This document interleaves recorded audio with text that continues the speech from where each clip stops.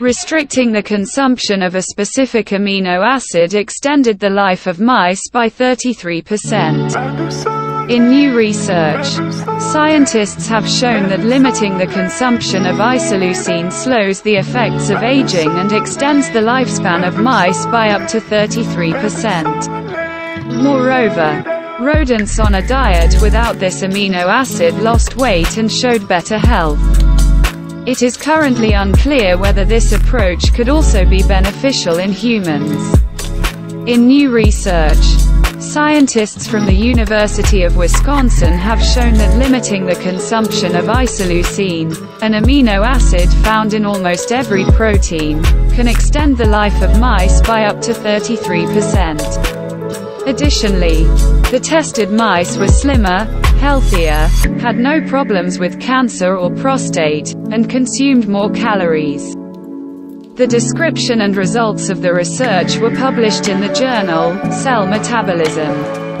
A few years ago, scientists from the University of Wisconsin conducted a health study among Wisconsin residents, which showed that the level of isoleucine in the diet is related to metabolic health. Analyzing the collected data, scientists also noticed that people with higher body mass indexes tend to consume more isoleucine. We like to say that a calorie is not just a calorie, said Professor Dudley Lamming of the University of Wisconsin School of Medicine and Public Health. Different components of the diet have different value and impact beyond the function of calories. We delved into one ingredient that many people may be consuming too much of, he added. Isoleucine is one of the three branched chain amino acids. It takes part in the construction of proteins in our body. It is essential for our survival. It is an exogenous amino acid, which means that it is not synthesized in the human body and must be supplied with food, eggs, dairy products or meat. Researchers decided to check the health effects of consuming isoleucine. Lamming invited scientists from various disciplines to cooperate. In the experiments, they divided the mice into two groups. They fed one a diet containing 20 common amino acids. The second group was on a diet in which all amino acids were reduced by approximately two-thirds or on a diet in which only isoleucine was reduced by two-thirds.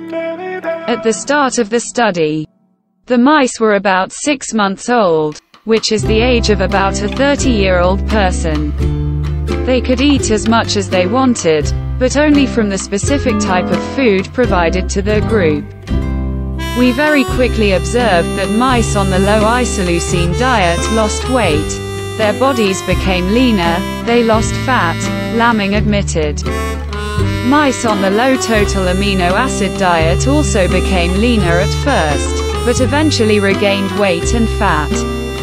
Reducing isoleucine in the diet extended the lives of mice, improved their health and allowed them to reduce weight. The lifespan of males increased by 33% compared to males in the control group where isoleucine was not limited. Females lived on average 7% longer. Based on 26 health indicators ranging from muscle strength and endurance to blood sugar levels, tail use and even hair loss. Mice on the low isoleucine diet were in significantly better shape for longer. Moreover, male mice in the isoleucine-restricted chow group had less age-related prostatic hyperplasia and were less likely to develop cancers, which are common in mice. But that's not the end.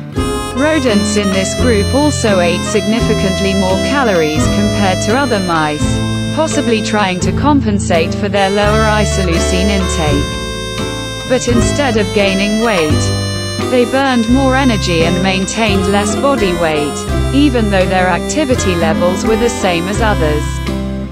Previous studies have shown an increase in life expectancy when following low-calorie or low-protein diets.